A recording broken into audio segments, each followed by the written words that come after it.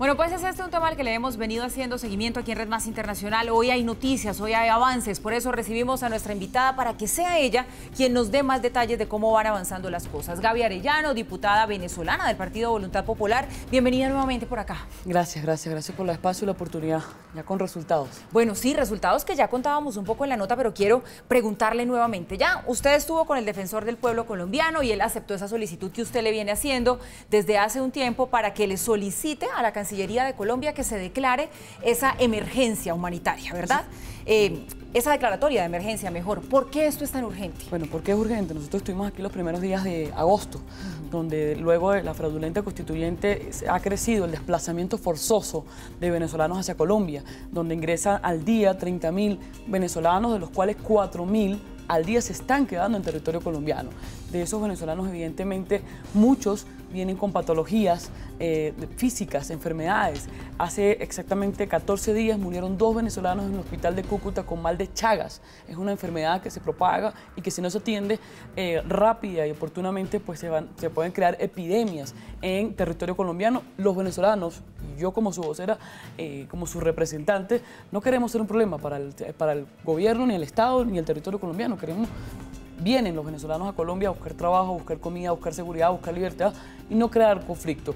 El Estado colombiano ya tiene las cifras exactas del éxodo venezolano. En Colombia ya hay una demanda muy alta sobre el sistema de salud que existe para los colombianos. Y con este éxodo diario, este desplazamiento forzoso está incrementando. Nosotros tenemos una propuesta que ya hemos llevado al Senado, donde se aprobó unánimemente la proposición de elevarse el decreto de emergencia humanitaria en todos los 2.000 kilómetros que divide Venezuela con Colombia, para así aplicarse los protocolos de las Naciones Unidas, que establece ACNUR, que es un corredor humanitario, que son ciudadanos de todas las latitudes del mundo, especialistas en temas sanitarios, en temas jurídicos, en asistencia a ese desplazamiento forzoso de esos miles de venezolanos que a diario llegan a, Colombia. ¿Por qué? Porque en Venezuela no hay sistema de salud, en Venezuela no hay salud preventiva, en Venezuela no se hacen vacunaciones contra el sarampión.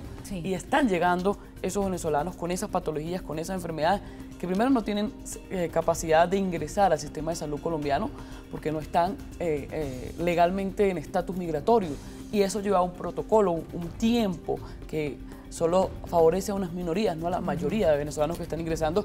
Y con el buen oficio del defensor del pueblo, quien conoce hoy en esta reunión que tuvimos, medio coincidimos en muchos números, en muchas cifras, en muchos testimonios y nosotros hemos recogido durante todos estos casi ya 50 días de estudio, no solamente en el norte de Santander, sino en todos los siete puntos que ingresan venezolanos a diario, los números de cifras de venezolanos con enfermedades de hipertensión, diabetes, VIH. Pero Gaby, claramente lo que usted ha obtenido hoy con el Defensor del Pueblo en Colombia es un paso bastante positivo y es un avance, pero ¿qué sigue en este proceso? ¿Sabe usted de tiempos más o menos para la que la Cancillería dé esa respuesta, que es la que realmente se necesita de que se declare esa emergencia? Nosotros particularmente aprovecho los espacios para agradecer al presidente Santos todas sus buenas intenciones para con Venezuela, pero hoy la crisis, la narcodictadura que tiene Venezuela necesita resoluciones, el pueblo venezolano necesita resoluciones efectivas.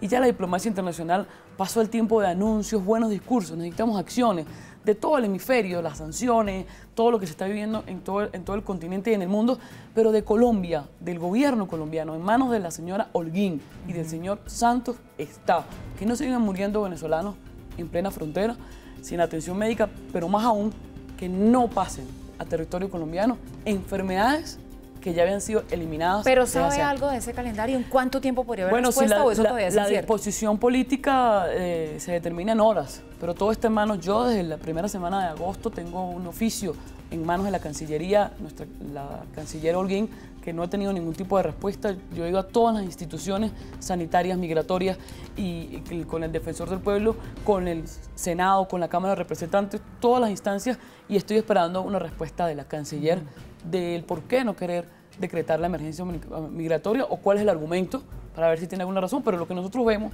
en, la frontera colombo-venezolana hoy, en el norte de Santander, hay más de 200 venezolanas embarazadas en estado de gestación. ¿En qué hospital van a dar a luz? Y, ellas no están viniendo acá, yo lo decía hace minutos en una conversación con alguien del sistema de salud colombiano.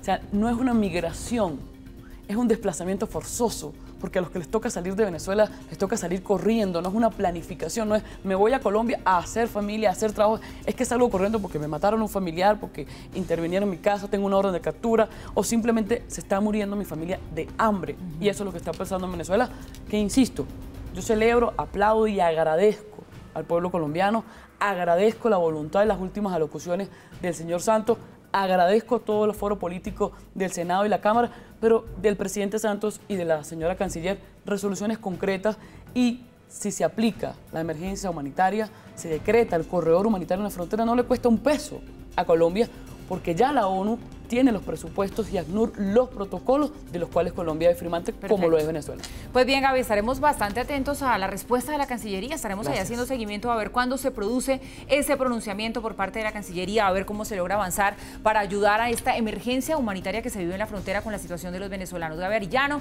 diputada de Voluntad Popular venezolana, nuevamente nos visita. Muchas gracias por estar con nosotros. Buenas noches. Gracias, gracias.